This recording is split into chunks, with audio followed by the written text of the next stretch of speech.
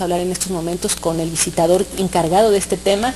Eh, hicieron una serie de peritajes y llegaron a una conclusión. El disparo provenía de una distancia de 35 metros. La PGR acaba de detener al presunto responsable, pero su hipótesis dice que el disparo fue a dos metros.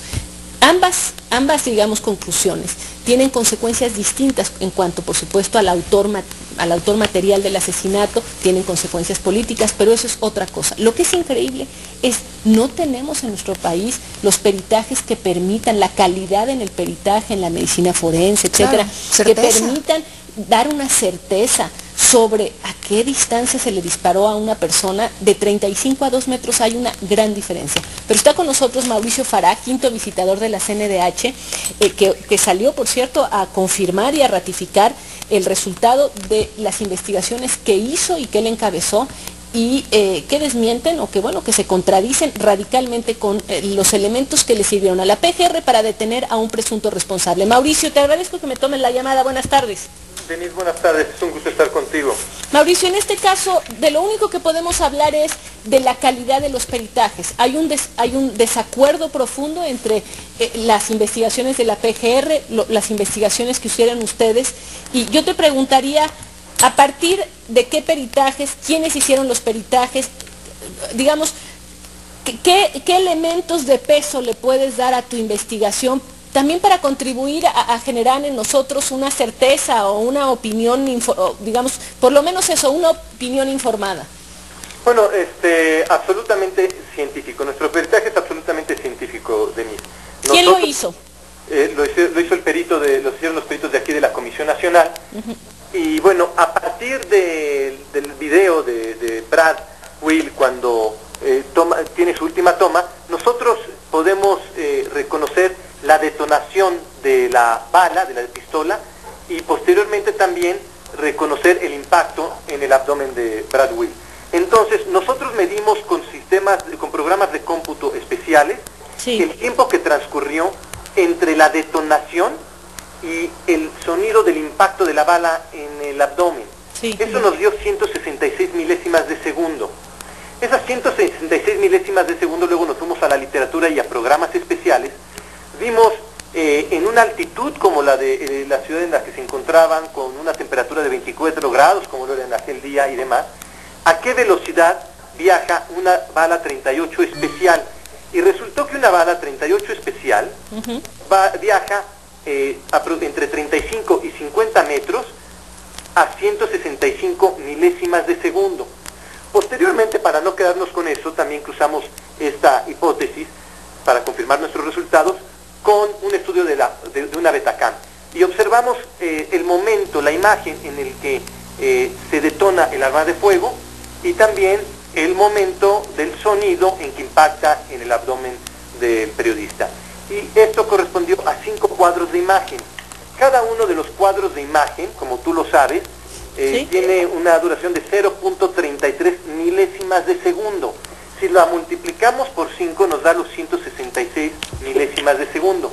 Posteriormente fuimos también al lugar de los hechos y en el lugar de los hechos eh, medimos, tomamos la distancia en donde se encontraba Brad, conforme a la misma cámara, el video que él tenía, pudimos determinar la distancia y pusimos también un camión este, en la misma posición en que se encontraba el camión rojo que tú recordarás eh, se encontraba ahí posicionado ese día y tomamos la distancia de donde provenían los tiros hasta el lugar en el que se encontraba él y nos dio 40 metros aproximadamente. Entonces, lo que nosotros logramos comprobar... A ver, Mauricio, eh, permíteme un segundo, tengo que hacer una pausa comercial, eh, discúlpame a la mitad de, lo que me estás diciendo, pero no lo puedo evitar. Quédate por favor con nosotros. Yo quiero saber si además ustedes hicieron un contra, digamos, un contraperitaje, si solicitaron ayuda de alguna, eh, digamos, de algunos expertos internacionales o independientes de ustedes, en fin, simplemente para, para hacernos una idea eh, de, todo, a pesar de la precisión, por supuesto, que me estás dando. Déjame ir una pausa, eh, Mauricio, y regreso contigo. Ya volvemos. Para quinto visitador de la CNDH, eh, Mauricio, nos decías los elementos que, digamos, los peritajes que se hicieron para determinar la distancia en que se hizo el disparo. yo te preguntaría, ¿qué no también en medicina forense, digamos, la herida por donde entra la bala es en sí misma reveladora de una distancia, de una, sobre todo cuando hay una discrepancia de 2 a 35 metros.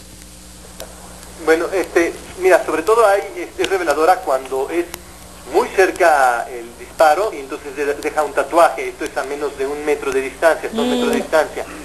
Este, nosotros nos basamos obviamente en cuestiones científicas, logramos determinar, como te comenté, Denis, eh, el lapso entre el disparo y el impacto, y, esto, y pudo, pudimos entonces medir la distancia y conforme a la misma cámara del periodista Brad Will, pudimos ver entonces los ángulos de donde podría haber venido este, este disparo.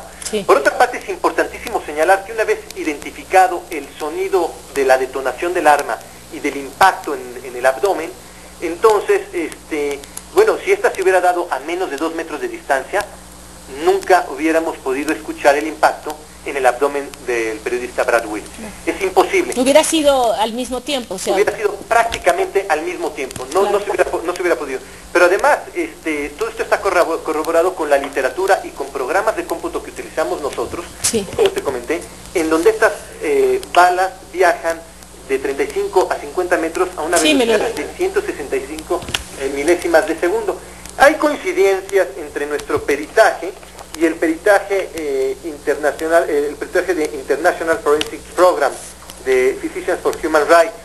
Eh, hay algunas coincidencias en este peritaje y bueno, nosotros tenemos todo un sustento. O sea, Mauricio, a ustedes no les queda la más mínima duda de que es imposible que ese disparo haya sido a dos metros, que es en lo que se está basando la PGR para detener a una persona.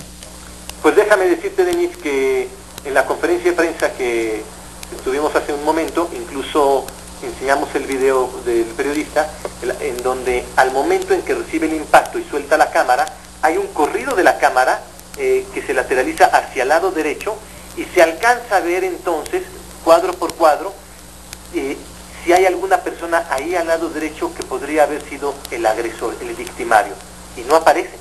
Ya.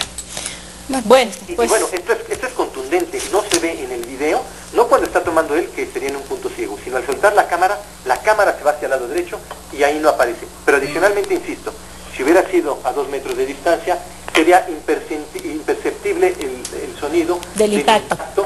por el sonido eh, de la detonación. Bueno, Mauricio, pues eh, te agradezco mucho por tomarnos la llamada y este y bueno, vamos a ver en qué termina esto. Eh, por supuesto es grave, yo supongo que ustedes lo entienden y, que calculan lo que significa pues que la PGR lleve a cabo investigaciones y que no correspondan a lo que ustedes hicieron y, es importante por, la incertidumbre que mete, por las conclusiones políticas a las que se puede llegar y que no quiero avanzar porque creo que hay que, hay que también, yo quisiera escuchar a, los, a los de la Procuraduría, por supuesto, sí vale la pena una revisión claro, de, la Me parece importante que eh, la, Procuraduría nos dijera, así como lo acabas de hacer tú y con el detalle que lo acabas de hacer, qué elementos los llevan a esto, porque lo contrario es simplemente, eh, efectivamente, confirmar esa investigación que ustedes calificaron como completamente inadecuada que hizo el gobierno de Ulises Ruiz y su procurador y entonces ya las interpretaciones políticas pues no van a tener freno. Sí, Denise, déjame concluir con esto. Como, como te dije hace algún momento, el peritaje independiente forense de International Forensic Program de Decisions for Human Rights, que de alguna manera la familia también avala, eh, ellos están de acuerdo también en, en, varios de los puntos que nosotros hemos señalado en nuestro peritaje. Muy bien, pues te agradezco muchísimo, Mauricio. Al contrario, muchas gracias y a tus órdenes. Gracias, Mauricio Faraquinto, visitador de la CNDH. Qué perturbador, lo digo de verdad, qué perturbador que una institución como la PGR haga una investigación que no corresponda con las conclusiones de la CNDH ni con las de esta institución de eh, forense internacional. Sería de esperar que la PGR saliera a tratar de decirnos... Claro, responder de alguna manera a, cuestiones que son científicas, que están ahí y además que es un caso que no... Enfrentarlo. Exacto. Enfrentarlo porque políticamente es muy delicado. Sara Pablo está en el Senado.